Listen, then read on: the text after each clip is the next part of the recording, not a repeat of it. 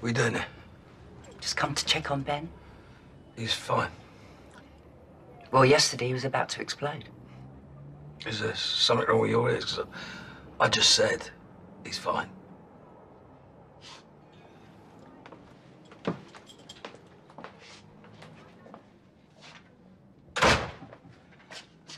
Why didn't you tell her? Ben never came home last night. She could have helped look for him. I don't need help. All right?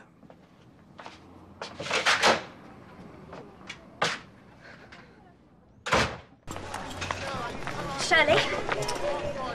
Ben never come home last night. But your dad said everything was okay. He was out too late searching for him. Phil in East State. Then this morning I heard him make like a thousand phone calls. Something bad's gone on. Come on. very much. Bye-bye now. He ain't upstairs. So what now?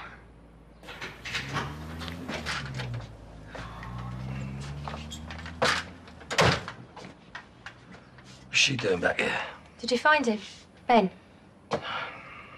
We've got to call the police. No. Look what happened to Paul. Ben's just upset. He's probably hiding out with his mate somewhere. You won't tell me what's gone on? Fine. But don't treat me like I'm an idiot.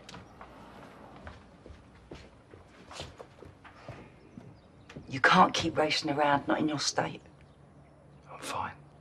You said that about Ben. What happened between you two, Phil?